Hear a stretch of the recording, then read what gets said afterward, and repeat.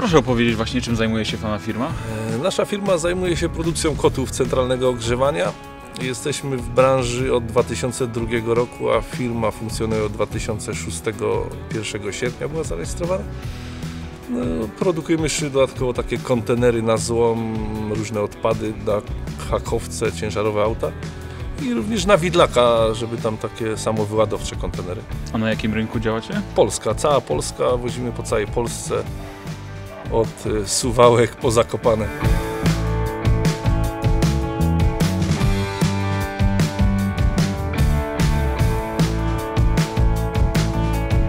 Zaczęło się od z niczego po prostu. No, gdzieś tam trzeba było szukać pracy i, i zacząłem sobie jeździć rowerem i, i znalazłem, gdzieś tam się zahaczyłem do produkcji kotłów i tak zacząłem pracować w kotłach i z tego powstała fabryka taka jak dzisiaj. Ale firma rozrastała się z roku na rok, tak?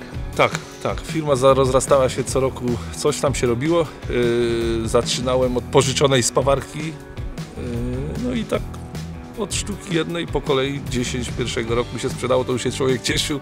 Drugiego roku się sprzedało 20 kotów, no to już się cieszył człowiek. Też.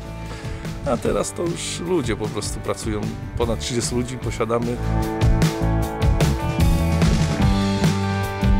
To są kotły na ekogroszek i pelet. Są dobre, no nie chcę tutaj się jakoś tam mocno przereklamowywać, ale kotły robimy dobre, yy, towaru używamy też dobrego, no i głównie pilnuję sam produkcji, dlatego powiedzmy może gdzieś tam są lepsze, bo ja żyję tym, po prostu to jest moje dziecko.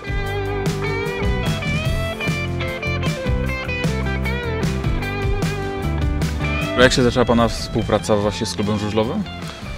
E, Przez kolegę z firmy Malesa. Tak się zaczęło, bo on tam po prostu jest sponsorem, no, a my się kolegujemy dobrze i zaprosił mnie gdzieś tam na rozmowy. Tak po prostu.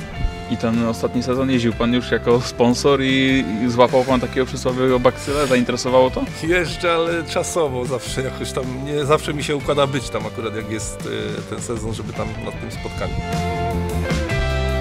Reklama dźwignią handlu. No, na żużlu dużo jest ludzi, którzy po prostu no, gdzieś tam no, tą markę zauważają. No, ona już jest tak wypracowana, że gdzieś tam się wbije w oko to kotły malina.